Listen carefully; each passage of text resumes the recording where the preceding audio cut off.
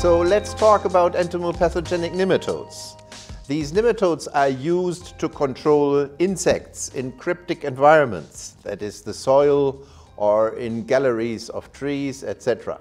Now we can produce these nematodes in large-scale liquid culture, so we can produce uh, cheap products to use them also in large-scale agriculture. However, we have a major problem. Uh, these nematodes have a short shelf life of only about six weeks and we have to store them at low temperature. So if the shelf life of these nematodes could be prolonged, uh, we would probably be able to approach also larger markets. And we could also possibly increase the efficacy of the nematodes, so we could use a lower dose, and like this also reduce the costs for the product, and then again, we can approach larger markets. So how are we going to do this? Our idea was to domesticate nematodes. It has been done with chicken and cows, why not with nematodes, right?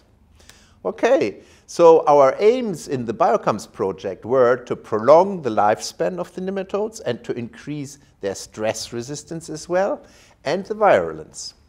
And to improve uh, these traits, we were using traditional genetic techniques like crossbreeding and selection.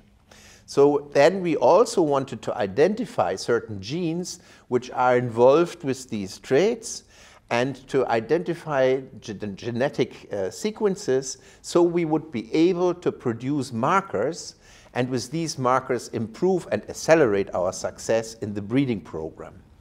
So our approach was to first of all use a huge strain collection so to use the naturally occurring variability and first of all phenotype these uh, strain collections so we could see what the traits of these different uh, uh, strains were.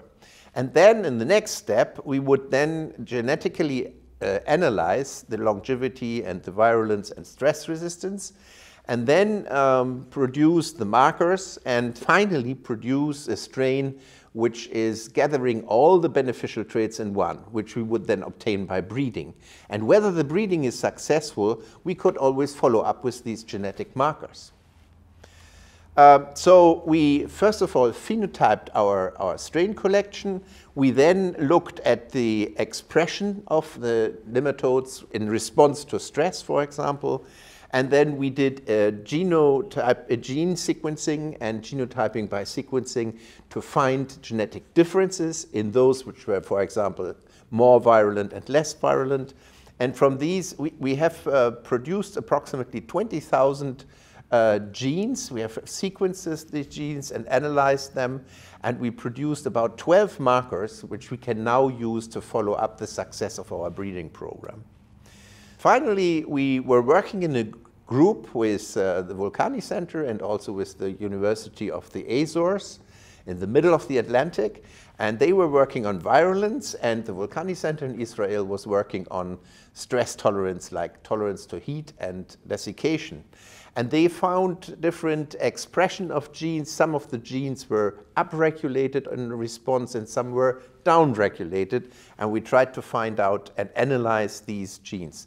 In the virulence, we also could identify four different genes and uh, found some strains which were high virulent and th then they were upregulated and when the strains were low in virulence, they were downregulated. So like this, we had an indication on uh, the potential of these different nematode strains.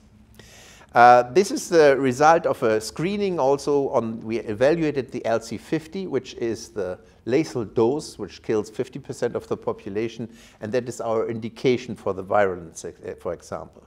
Now, the final step, of course, was to take uh, these uh, strains, which we consider to be very good, and compare them to the commercial strain, which we have in the market already, and then see how they perform in semi-field tests, but also outside in the field.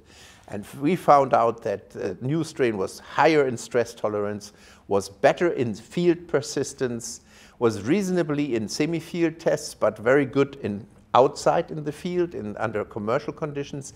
The efficacy was higher in the laboratory and also the storage stability was higher because we prolonged the life cycle of these nematodes.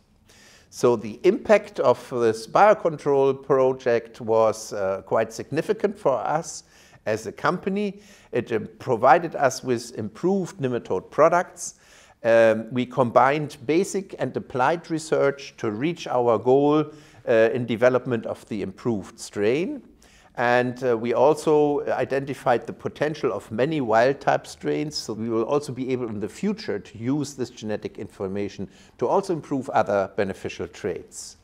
So uh, I think it has a benefit for our company, but also for the farmer to use our products, for example, also against uh, the western corn rootworm in, in corn, in the future where we have to compete with uh, low-cost uh, uh, insecticides, but with decreasing the uh, amount of nematodes we can use and prolonging their life, life in, in the soil, their persistence in the soil, we're now able to offer these nematode-based products at a lower cost and make them more interesting for farmers also. So we, on the long term, we will be able to substitute some of the agro agrochemicals.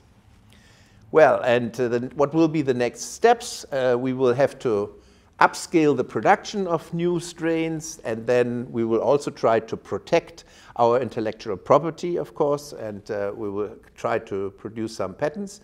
Uh, we will then probably release the new products within the next two years, and we will certainly continue this uh, research and uh, to optimize also other beneficial traits and finally, we can implement a high throughput breeding platform in our companies to further domesticate these nematodes for the benefit of our company, but also for the farmers.